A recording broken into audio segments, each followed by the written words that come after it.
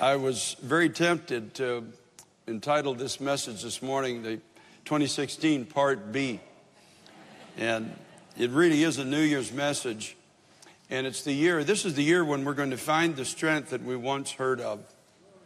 That's the title of my message this morning Finding the Strength That We Once Heard of. Psalm 132, please, if you go there in your Bibles with me. Psalm 132. Now, Father, I thank you, God, with all my heart for the strength that you are willing to give us as we yield our bodies to you as a sacrifice for your purposes on the earth. Thank you, Lord God, that you invite us even to pray, not in times of strength, but in times of weakness, that we may find the strength that we need to help in our time of need. And so, God, I ask you to overshadow the frailty of this human body this morning overshadow the frailties, Lord, of those of us who are listening, and give us the grace to hear. As you once said so many times, he who has the ears to hear, let him hear. So, God, let us hear this day, God. Let your word find a free course into the very center of who we are as the people of God on the earth. Lord, I thank you for this with everything in me. In Jesus' name. Amen. Psalm 132 Finding the strength we once heard of, beginning at verse 9. Lord, remember David and all his afflictions, how he swore to the Lord and vowed to the mighty one of Jacob Surely I will not go into the chamber of my house or go up to the comfort of my bed. I will not give sleep to my eyes or slumber to my eyelids until I find a place for the Lord, a dwelling place for the mighty one of Jacob.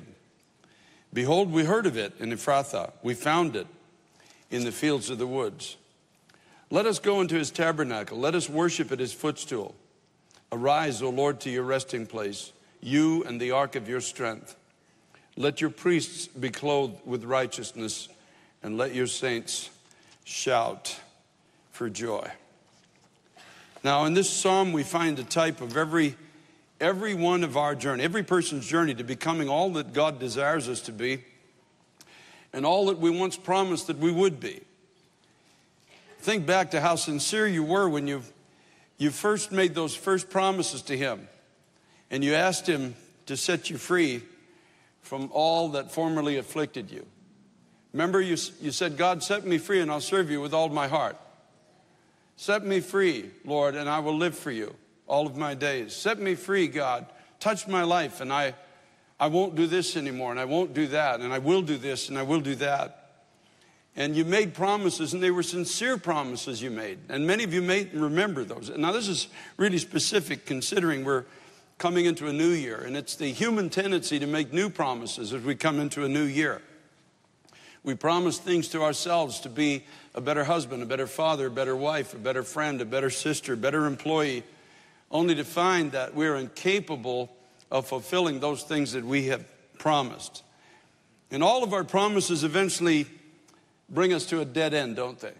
Everything that we try to do in our own strength, and we find out that we're unable to do what we thought we would, we're unable to become what we thought we should, and we're able, unable to be what we believed we could all of the things, these, these promises that came into our hearts. And, and so we get to a point in our walk with God where we become deeply aware of how weak you and I really are. And I know I'm speaking to people here this morning who've come into this house and you say, God, I, I can't make any promises to you. I'm barely surviving. I don't know how to do what I'm called to do. I don't know how to be what I thought I should be. I don't know how to live the way I once felt that I could or would. I seem to be so utterly incapable of being a partaker of the strength that I once heard of. God, you, you talked about being a deliverer, you talked about being a healer, you talked about being one who sets my life on a new course. You, you said through the preachers that I heard if anyone be in Christ is a new creation, the old things are passed away, and behold, all things are become new. But I find the old things are very much still there. And the new things are like a carrot on a stick, just always out of my reach.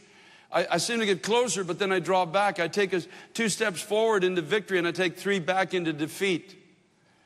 And now, especially as we're heading into a time when it's becoming unpopular to be a, a believer in Christ, and we feel this encroaching darkness all around us, growing and increasing on a daily basis. And God, you've called me to be the light of the world.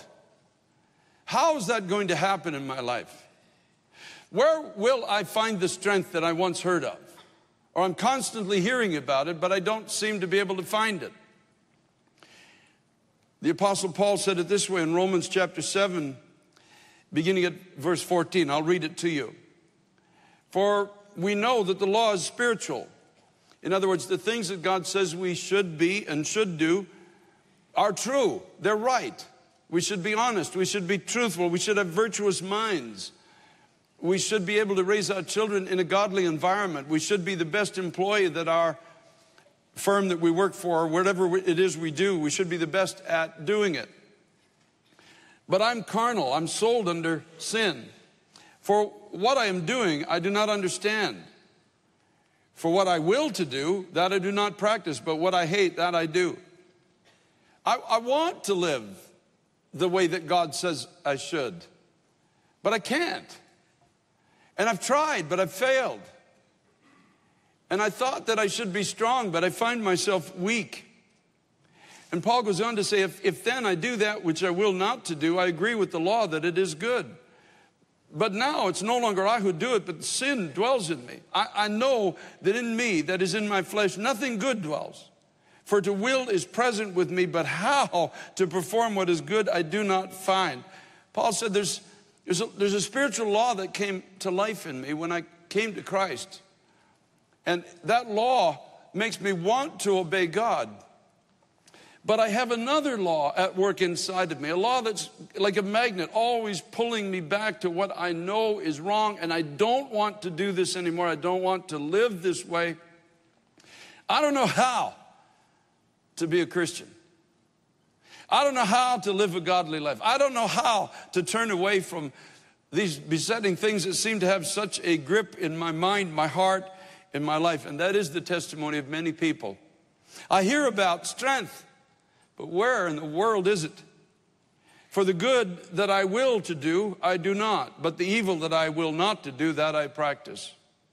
Now, if I do what I will not to do, it's no longer I who do it, but sin that dwells in me. Paul said, I find then a law that evil is present with me, the one who wills to do good. For I delight in the law of God according to the inward man. I love coming to church. I, love reading the Word of God. I love the fact that this is truth. But I see another law warring in my members inside of me, warring against the law of my mind and bringing me into captivity to the law of sin which is in my members. O wretched man that I am, who will deliver me from this body of death? O wretched man that I am. Quite often that becomes the cry of somebody who really does want to walk with God, really does want to stand out in this moral abyss that we're living in today as somebody who has virtue, as somebody who knows God, who's walking with God. But that cry comes into the heart Oh God, I've given it my best try, but I can't. I want to, but I don't know how. I love the Word of God, but it seems that I can't obey the things that are written here that I should do and I should love. And then Paul says, I thank God through Jesus Christ our Lord. Now, I know theologically that Christ delivers me, but how does that work? How does it work? I mean, I know that. I know He died on the cross for my sin. You know that. I know that He rose from the grave and took captivity captive. You know that. I know He promises new life. You know that. But how does it work? That's the question. And it's a legitimate question. It's not one God is offended at. This psalmist says, Surely I'll go into the chamber of my house. I will not go into the chamber of my house or up to the comfort of my bed. I will not give sleep to my eyes or slumber to my eyelids until I find a place for the Lord, a dwelling place for the mighty one of Jacob. It's, it's the person that says, I feel deeply stirred again. I feel hope again. I, I feel a desire again to be a living testimony of the reality of God. And I will, but I don't want to fail like I have before. I don't want to be always learning but never coming to the knowledge of the truth. I don't want to be reckoned among the powerless. I don't want to live a duplicitous life, being one thing in church and being another thing Monday to Saturday in my work environment, my home, and my community. I'm sick of it. I'm tired of it. I don't want to live this way anymore. That's who this message is for. It's for the person in 2016 who says, I feel stirred again in the chambers of my house. I feel stirred to pray like I haven't prayed in a long time. I feel stirred to find that life, that dwelling place of God that God's word promises will be mine through Jesus Christ. I've heard of it. In verse 6, it says, Behold, we heard of it in Ephrathah. I've heard of it. Micah chapter 5, verse 2 and 4 says, But you, Bethlehem Ephrathah, though you are little among the thousands of Judah, yet out of you shall come forth to me the one to be ruler in Israel, whose goings forth are from old, from everlasting. Verse 4, speaking of the Messiah that would be born in Bethlehem, Ephrathah. And he will stand and feed his flock in the strength of the Lord, in the majesty of the name of the Lord his God, and they shall abide. For now he shall be great to the ends of the earth. Phenomenal promises. The psalmist says, I heard of it in Ephrathah. I heard of what God proposed to do and how he was going to do it. He was going to be born in a specific place. He was going to stand. He was going to feed those who come to him. He was going to feed them with strength, the strength of God, in the majesty of his name. They will abide in him. He will abide in them. They will abide in him. And his name will be brought to greatness throughout the whole earth through a people that will be called his own. I know this. I'm speaking for somebody. God has given me your question that's in your heart this morning as we go into this new year. The person says, I know this. You're not telling me anything new, Pastor. You're not telling me anything I don't already know. That Christ was going to come to Bethlehem. He was going to be raised on the earth. He was going to walk among us for 33 years. He was going to die in my place on a cross. He would go down into the grave, and the third day he would be raised again from the dead. I would be promised new life in him. I know all of this. Verse 6 in Psalm 132, he says, Behold, we heard of it in Ephrathah. But the second part of the verse says, We found it in the fields of the woods. It's one thing to hear about it, it's another thing to find it. And I don't know about you, but I want to know the strength of God, not just to hear about it.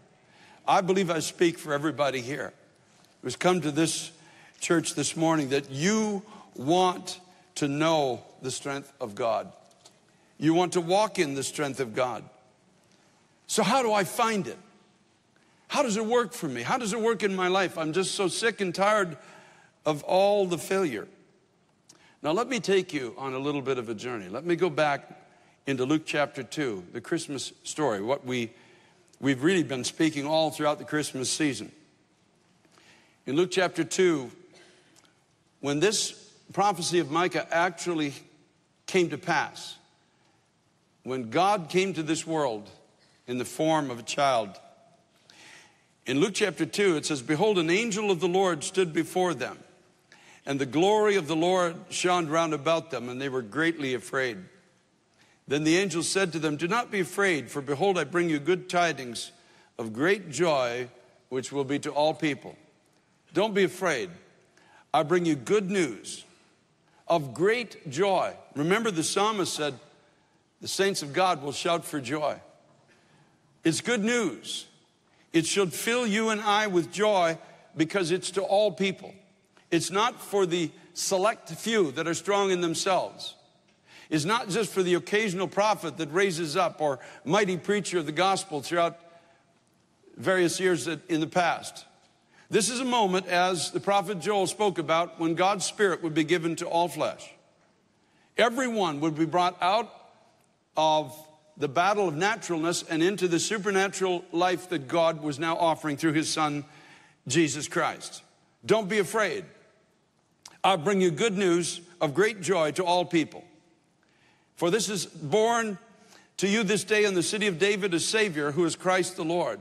And this will be a sign to you. You will find a babe wrapped in swaddling cloths lying in a manger.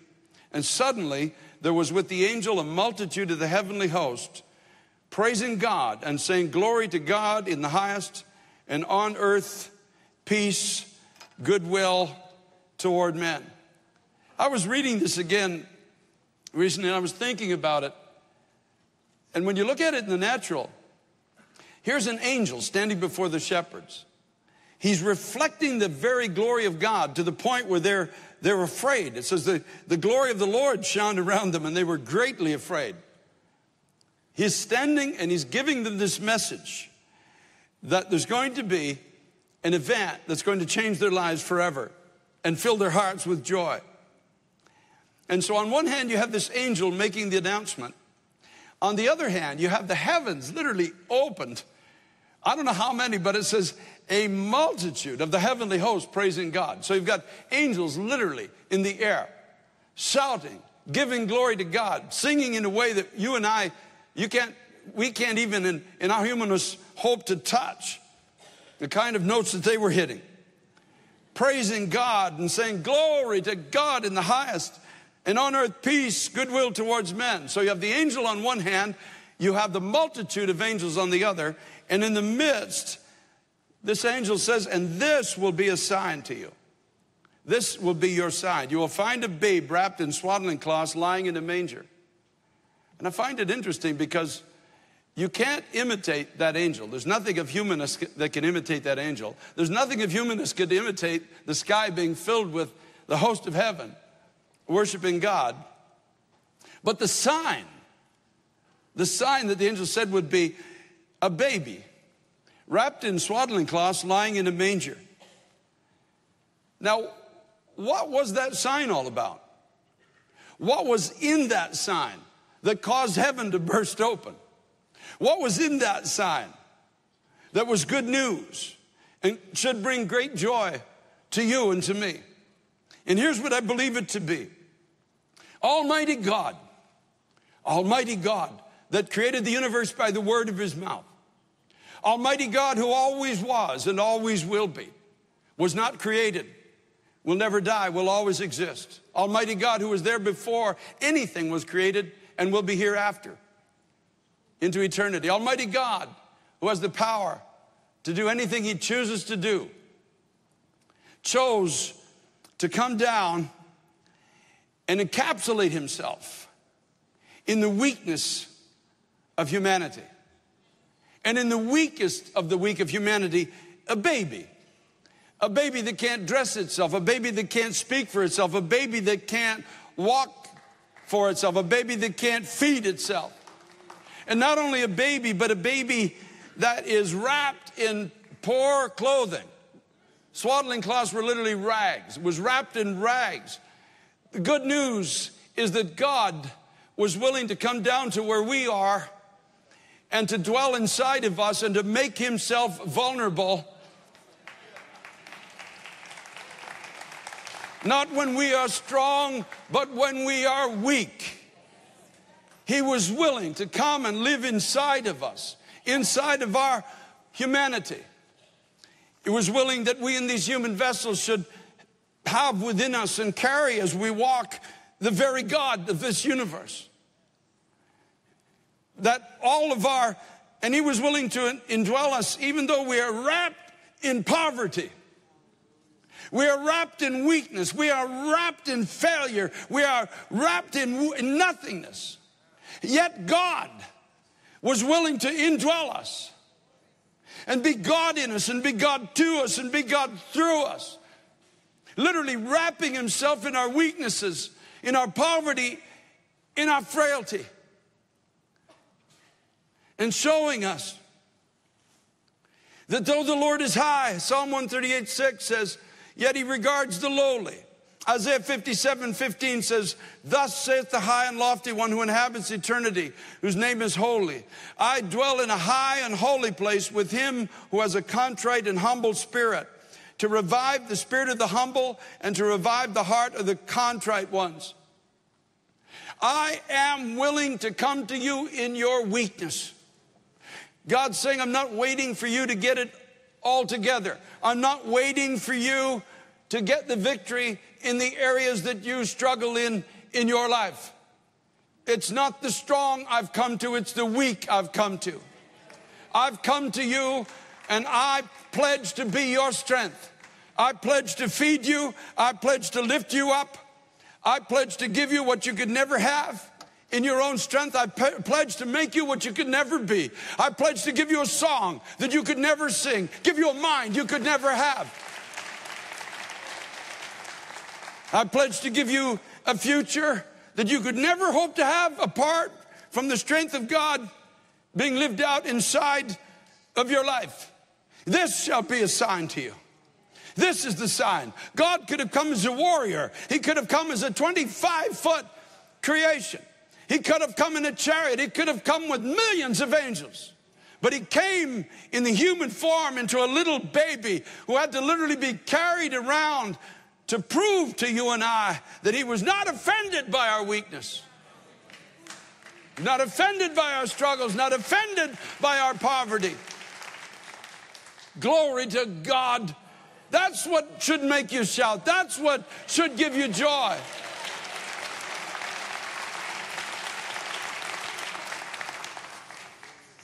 You see, a baby can't make promises. And if a baby could promise, he or she can't keep his promises. And God says, You're not going to live by making promises to me, you're going to live by the promises I'm going to make to you.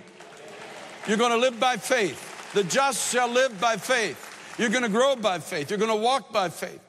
You're going to see victory by faith. It's going to be all of me and none of you. You're going to believe, and I'm going to perform everything I promised to you. I'm going to perform it for you and in you and your testimony and your song will not be about yourself, will not be about seven steps you took to become a better this or a better that.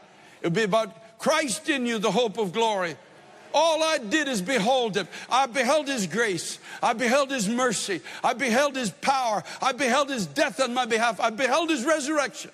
I beheld his promises in the Word of God. And as I beheld him, I was changed from image to image by the Spirit of God within me. I was changed into what God had promised I would be. I was given the victory that He won for me on the cross. All I did is put one foot in front of the other, and I believed Him. I believe that 2016 is going to be a year when we find the power that we once heard about. We find the victory that so many have studied for so long, but it has somehow just eluded them, been outside. You see, because the victory of God is not found in our strength, it's found in our weakness. It's found when we come to the end, it's found when we know we need Him. Glory be to God. No wonder the heavens burst open. No wonder angels began to sing. No wonder, because they understood this mystery. The shepherds didn't fully understand it. The religious crowd didn't have any idea of what was going on in their midst.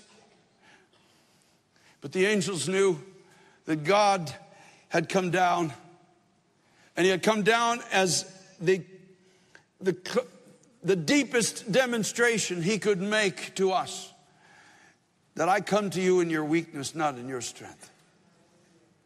I come to you in your need, not in your abundance. I come to you when you know that there's nothing you can do without me.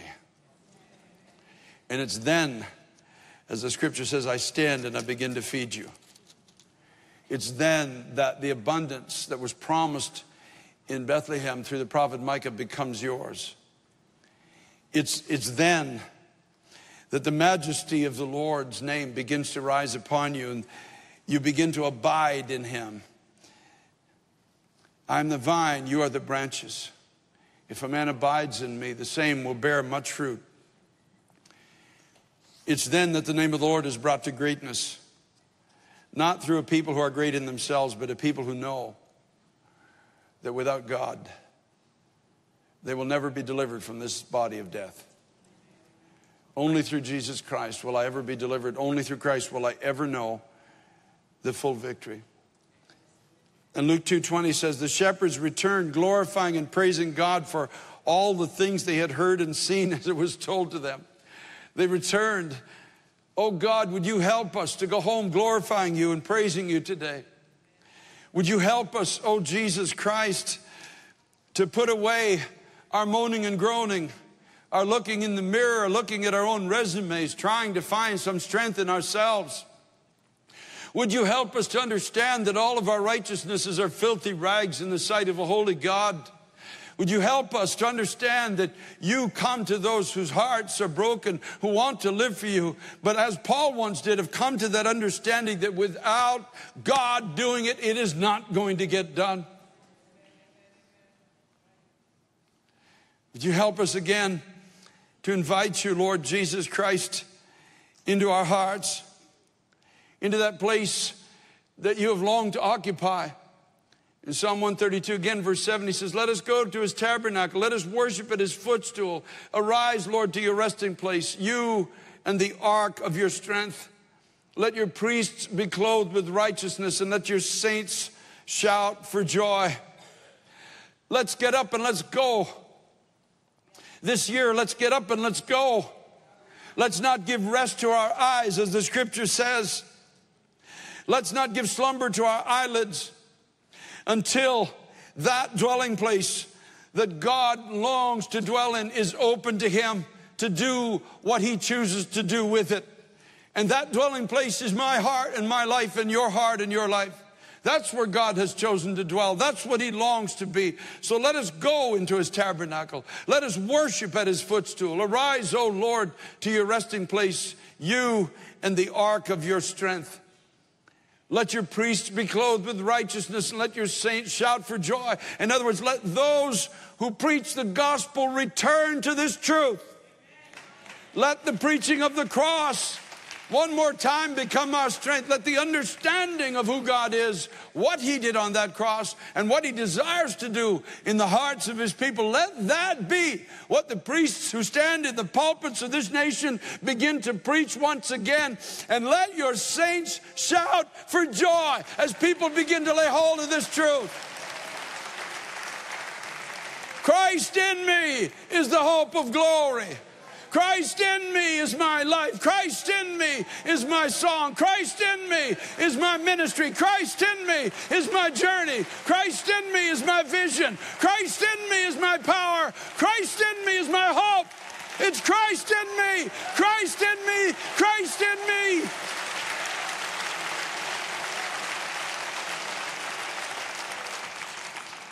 That's why Paul could say later in life, when I'm weak, then I'm strong. Because he understood it, he under, knew it. He had been a Pharisee. He had fulfilled the law. He had striven in the flesh, but he knew it was all for nothing because there was a law warring inside of him against the law of God. He knew somebody stronger had to come into this physical temple and overpower the works of hell and give him that life that could only be given by God. And so if you're weak today, don't despise it. You're in a good place. You're in a better place than those who think they are strong in themselves. Glory to the name of Jesus. Glory to the name. You and I should not be satisfied until we are shouting for joy at what God is doing in our lives until we can say, I've found the power of God. I didn't find it in my strength. I didn't find it in my certificates on the wall. I found it in my brokenness. I found it in my weakness. I found it in my nothingness. I found the power of God. I found it. I found the reason that angels were rejoicing in the heavens. I found the sign that God said would be the sign that would give me hope and fill my mouth with joy and my heart with singing. Hallelujah to the Lamb of God. I found it. Here's what the Lord says For the Lord has chosen Zion, He's desired it for His dwelling place. This is my resting place forever. Here I will dwell, for I've desired it. I will, verse 15 of Psalm 132, I will abundantly bless her provision. I will satisfy her poor with bread. I will clothe her priests with salvation, and her saints shall shout aloud for joy. There I will make the horn of David to grow. In other words, the promises I gave to David will grow then. I will prepare a lamp for my anointed. His enemies I will clothe with shame, but upon himself his crown shall flourish. When God comes into the heart that's broken, when we are finally open to that which God desires to do, then it's no longer me promising God, saying, I will be a better husband. I will stop drinking. I will stop yelling at my kids. I will stop doing this. Oh, which all of these things that we say we will do bring us into hopelessness. But when Christ is at the center of a broken life, now the I wills of God begin to take over. You look at it again, beginning at verse 14. Here I will dwell. I will abundantly bless, bless her provision. I will satisfy her poor with bread. I will clothe her priest with salvation. Her saints shall shout aloud for joy. I will make the horn of David grow. I will prepare a lamp for my anointed. His enemies I will clothe with shame, but upon himself his crown shall flourish. I will be God to you. I will be God in you. I will be God through you.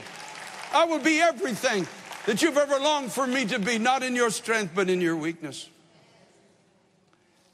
That's why the psalmist begins by saying, Surely I will go into the chamber of my house. I will not go into the chamber of my house or up to the comfort of my bed. I will not give sleep to my eyes or slumber to my eyelids until I find a place for the Lord, a dwelling place for the mighty one of Jacob. I will not be denied. I will not live short of my inheritance. I will not settle for a joyless Christianity. I will not settle for continual defeat when Christ has promised me victory.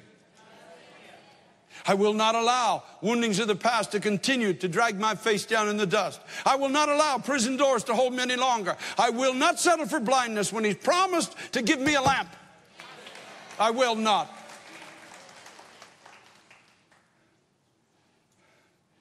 I'm going to pray. I'm going to pray like I've never prayed before. My prayers will have no promises to God, for I can't fulfill them. My prayers will lay hold of the promises of God for me.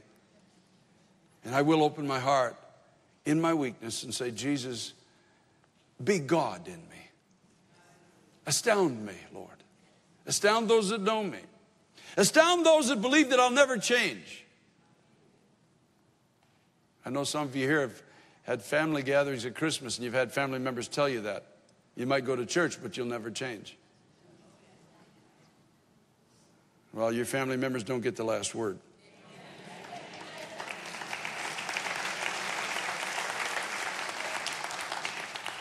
I will not give sleep to my eyes or slumber to my eyelids until I find a place for the Lord, a dwelling place for the mighty one of Jacob. I'm going to find the strength this year that I once heard about. I'm going to find the strength and truth that I once believed in my innocence and my youth. But now, as I've gotten older, I'm going to find you, Lord, anew and afresh. And that will be my altar call today. For every person in this house is just willing to say, Lord God, yesterday's gone.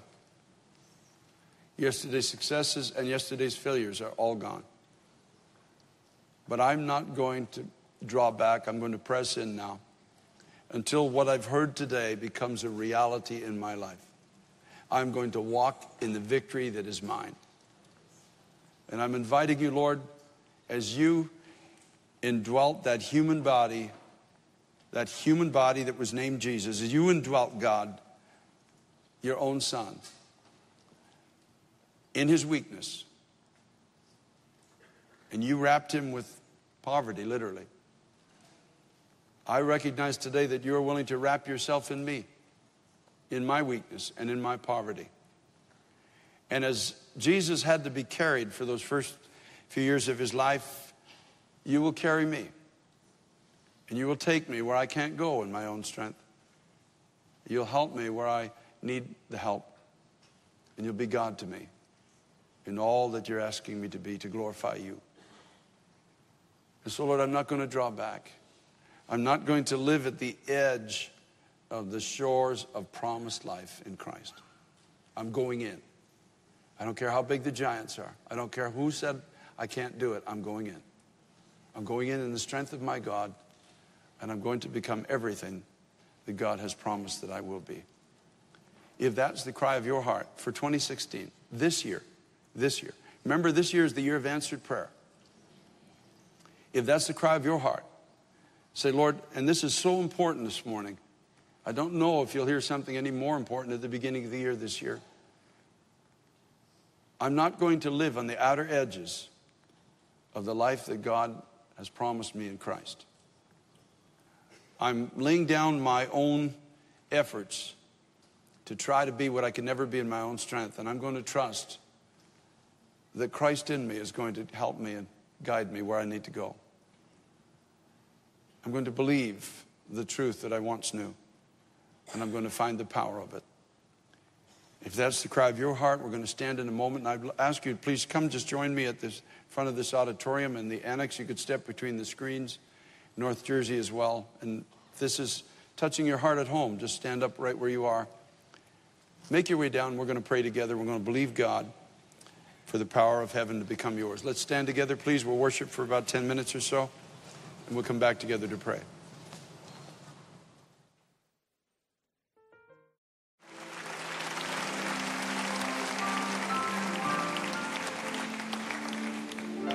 It's such a wonderful truth that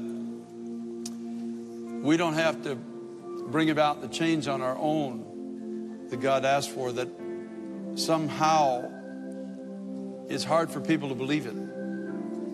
But when your heart is finally open to the fact that God made the choice to indwell us in our poverty and in our weakness and in our struggles, He made the choice. It was His choice to come to us in our weakness. And when you realize that, then suddenly the, par- the prodigal son parable all makes sense. He wanted to cover, he wanted to empower, he wanted to change, he wanted to invite us to tell others. Thank God for that. Thank God.